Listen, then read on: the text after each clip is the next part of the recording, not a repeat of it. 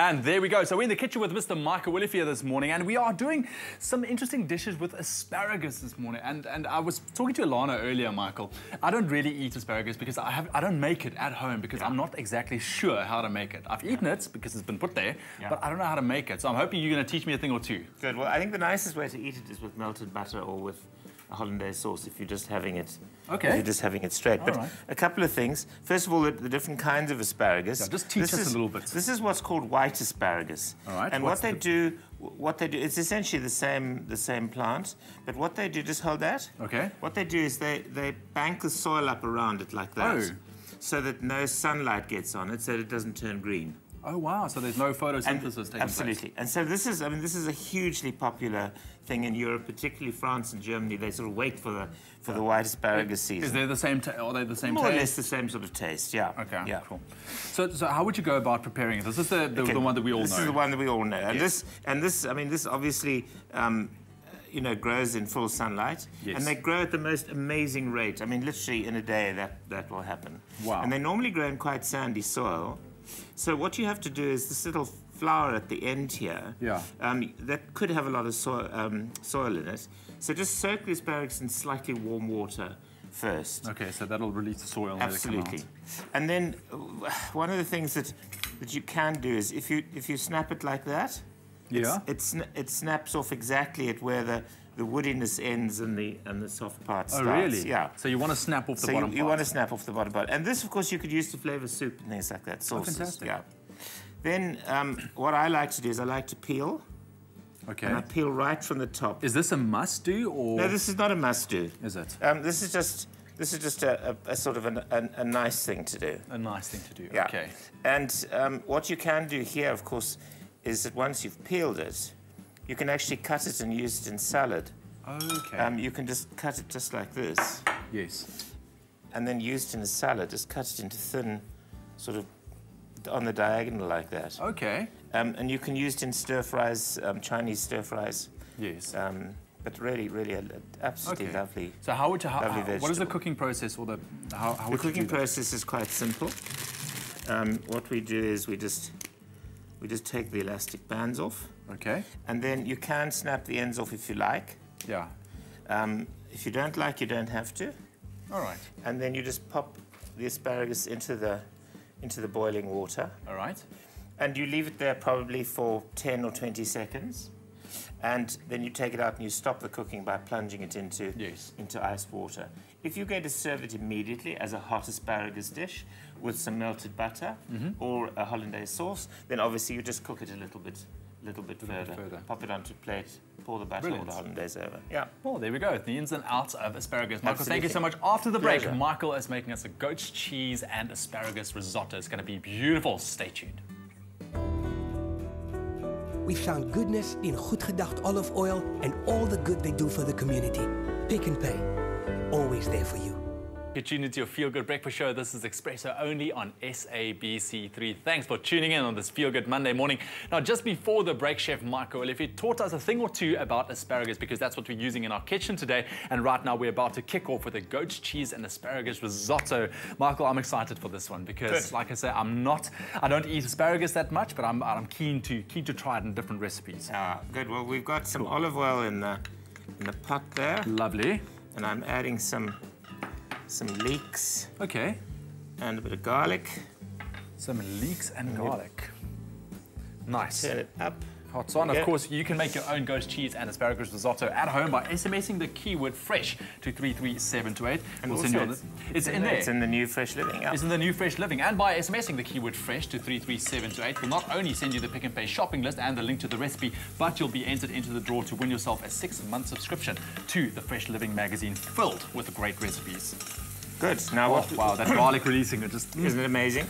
Now we just smells healthy. Saute the leeks for a little while. Um, what I would do, we ha don't have the time to do it now. Yes. But what I would do at home is I would have the temperature down and okay. I would cook the leeks for quite a while. Okay. Because they, they when they when they cook, they they really cook down into this delicious, um, flavorful, okay. um, sort of almost yes. like a mash. Okay. Right. Now we've got risotto rice. This is a special rice which is grown um, in Italy.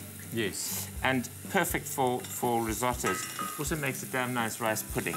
Oh, I'm sure of that. I'm sure that you're going to have to come and show us that one. Absolutely. All right, Now, so one, of the, just- one of the tricks about um, risotto rice Yes. is that you have to heat it through. okay. So you have to stir it around and get as much of the oil around the rice as possible. Okay. And then he, then heat it through, because if you do that, it receives the liquid um, much more easily, and it gives off its starches more easily. Now, there's And- a great tip. Yeah, and those starches are what you want to make that lovely creamy sauce. Okay. And then you get some, what, what are we putting Good. in And next? here, this is some this is some white wine. Some white wine. Some white wine, and what you do is you just you see, you see it's, the rice starts getting slightly transparent. Yes. Okay, so now we pop the wine in. And that And risotto just- will just absorb that now. It'll start, yeah, and and obviously it's going to cook away Yes, as well. yes. But you can see that the, the liquid's already gone cloudy, and that's from the starch that's, see, that's that's around the asparagus. Yeah, and one of the other tricks about um, uh, about risotto is you have to stir it. Okay, you have to constantly stir And you can't go away and then come back and give it a little stir.